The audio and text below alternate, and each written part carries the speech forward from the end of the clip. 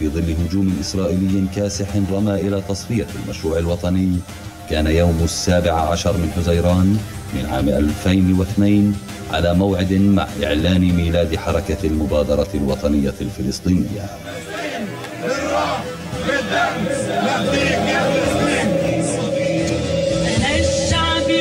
بمشاركة واسعة احتفلت حركة المبادرة الوطنية الفلسطينية باختتام مؤتمرها الوطني العام في كل من رام الله وغزة وبمشاركة أعضاء وأنصار المبادرة في الخارج.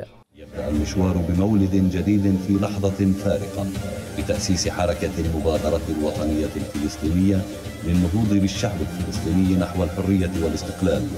يأتي مؤتمر الحركة وسط تحديات عديدة تواجه الشعب والقضية الفلسطينية أبرزها تصاعد جرائم الاحتلال وعنصريته تجاه الفلسطينيين واستمرار الانقسام.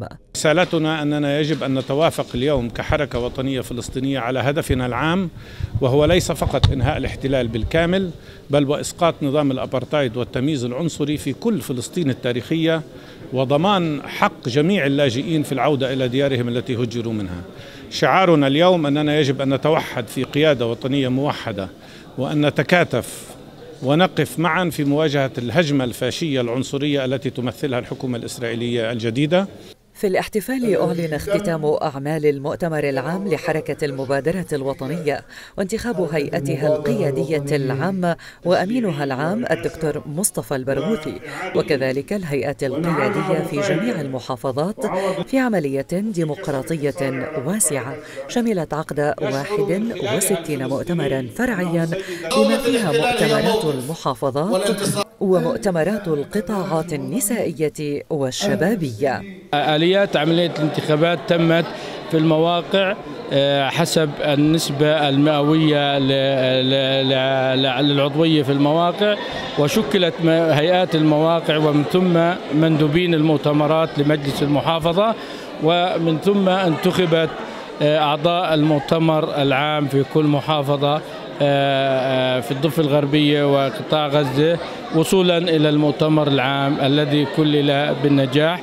إلى جانب أعضاء مؤتمر حركة المبادرة الوطنية الفلسطينية شارك ممثلون عن القوى الوطنية والإسلامية وعدد من الشخصيات الوطنية والدولية الصديقة وشددوا على الوحدة الوطنية لمواجهة الخطر المحدق بالقضية الفلسطينية. نحن إزاء خطر كبير لم يبدأ اليوم ولم يبدأ أمس لكن في هذه الأيام هذا الخطر يبدو أكثر حدة وأكثر صعوبة ولذلك نحن مطالبون بأمرين.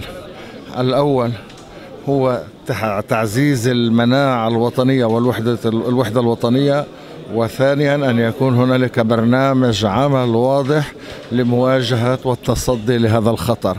أن يكون هناك تعزيز لدور كل القوى الفلسطينية من أجل وحدة الحركة الوطنية الفلسطينية ودفاعها عن الحقوق الوطنية والاجتماعية والديمقراطية للشعب الفلسطيني. كلما كان هناك تكاتف ووحدة بين كافة القوى كلما كان ذلك مكسب للقضية الوطنية. ندعو هذه الأيام الكل الفلسطيني إلى ترتيب الأوضاع الداخلية للبيت الفلسطيني بكل بيوته بكل فصائله. و هذا النجاح أنا أعتبره جزءا من هذا الترتيب. هذه الحركة الفلسطينية التي حملت على كاهلها منذ انطلاقتها المسؤولية الوطنية الكبيرة في رأب الصدع وفي مواجهة الاحتلال وأيضا في الولوج إلى مسارات أخرى في الكفاح الوطني في سياق التضامن الدولي وكذلك موضوع ال BDS وغيره من العناوين المهمة التي خاضتها حركة المبادرة إلى جانب إيمانها بأننا في مرحله في مرحلة تحرر وطني فلسطيني وأن الطريق إلى العودة إلى الديار وانهاء الاحتلال تمر بالمقاومة بكل أشكالها.